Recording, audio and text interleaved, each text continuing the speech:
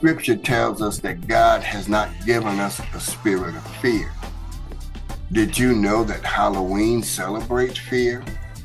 The theme of darkness, graves, blood, skulls, vampires, witches, and wizards infuse fear, especially among children.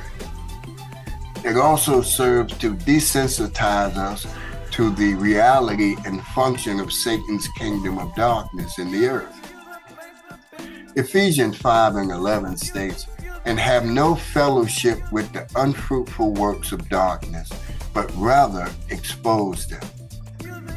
1 Thessalonians 5:22 tells us to abstain from all appearance of evil, evil. And I would add appearance includes association.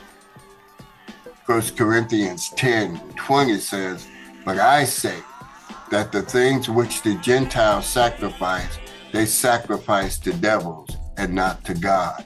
And I would not that ye should have fellowship with devils. Excuse me.